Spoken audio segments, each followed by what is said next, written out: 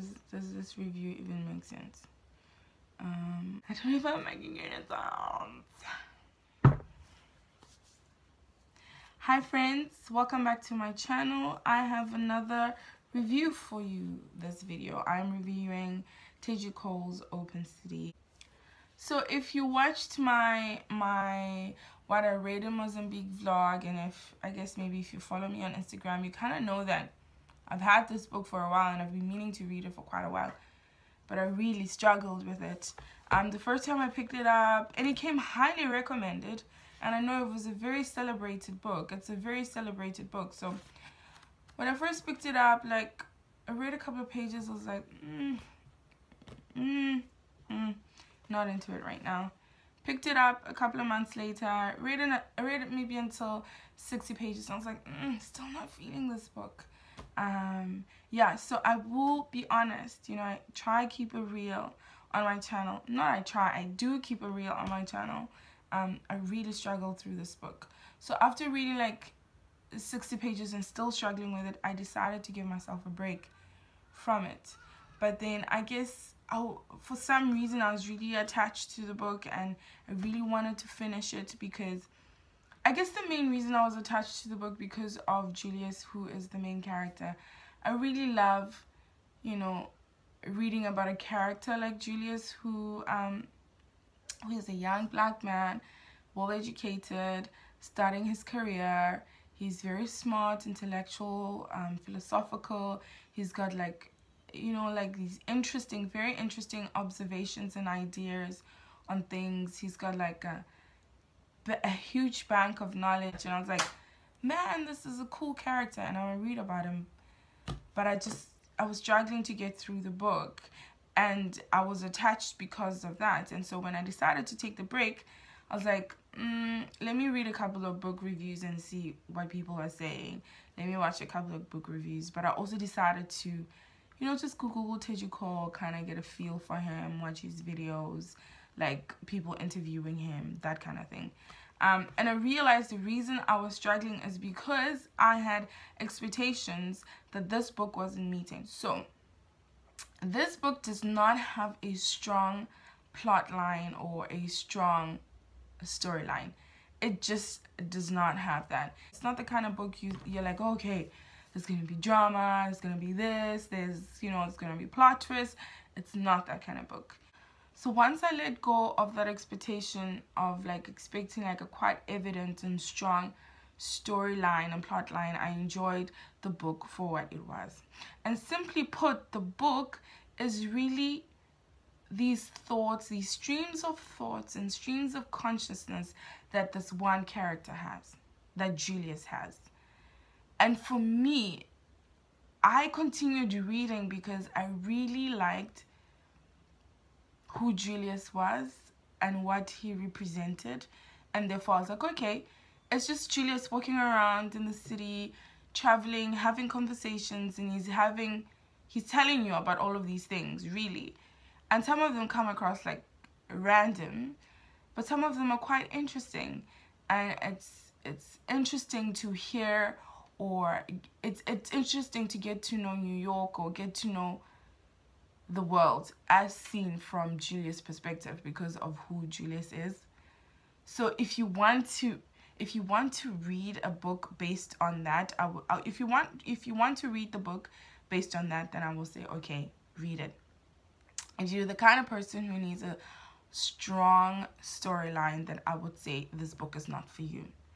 But also, you could read this book. Don't do what I did. I wanted to read the book in one go. I would say maybe read a few pages at a time because the book is quite, is quite dense. And actually in one of the um, interviews that I watched of Teju Cole, he does say he did not want the book to be an easy read. He wanted the book to be dense.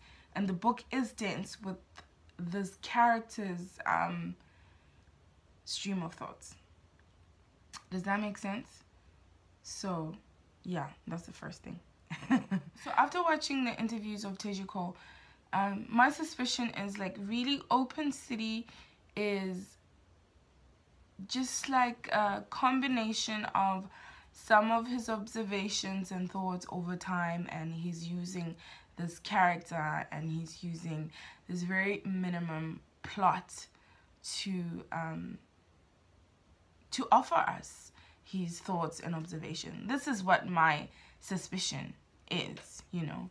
Um, so I would suggest like if you really want to read this book, if you're not convinced by who, if you're not convinced to read the book because of Julius, the character that I've described, if that's not convincing enough for you, I would say go and watch interviews of Teju Cole just to get the kind of guy he is and like his values and principles and just like his way of thinking. Right. If you want to get to know Julius more based on what I said and if you want to get to know Teju Cole more who's very brilliant by the way then I would say read the book. The storyline is very minimum. What you know is you know of Julius, you know he's an immigrant in America.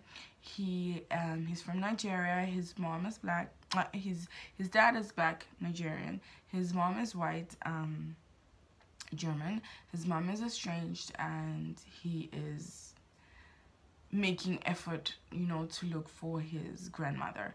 Um so pretty much that's the that's the entire story really.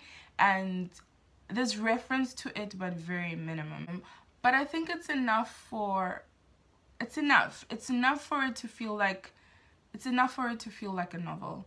But that's only like i would say that that storyline only takes about 20 percent of the book the rest of it like i said is just a stream of thought, a stream of consciousness. My favorite part of this book is when he goes to Brussels in Belgium and the people, you know, the things that happen there, the interesting, the people he meets, the conversation he has, particularly with this guy who's living there, but he's from Morocco. He um, he's studying, yes, he's studying um, and working there, and just like the the conversations they have around race, around um, you know, the whole Israel and Palestine situation. Like I just found those very like enlightening the con enlightening the yeah. other thing that i quite enjoyed about the book is actually right towards the end you learn something about julius that you don't expect at all and that kind of changes your whole perception. Like i mean it depends on it depends on you but it really changed my whole perception on julius and therefore changing my thoughts on what i thought about his thoughts. Does that make sense? It was a great way to end the book. Anyway guys um sorry the lighting is getting really bad I have to wrap this up. Um, yeah, so that was my review of Teju Cole's Open City. And I know the review is on the short side, um, but yeah, I don't think there is much to be said about this book. You, yeah, so if you like, I would highly recommend that you Google Teju Cole and you just get to know him um, and his way of thinking because I am convinced that this book is just like a presentation of his thoughts um, and ideas and observations. Um, let me know. Comment down below. Have you read the book?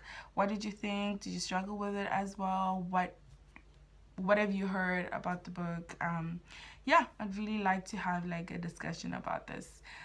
Don't forget to like, comment, and subscribe. Bye.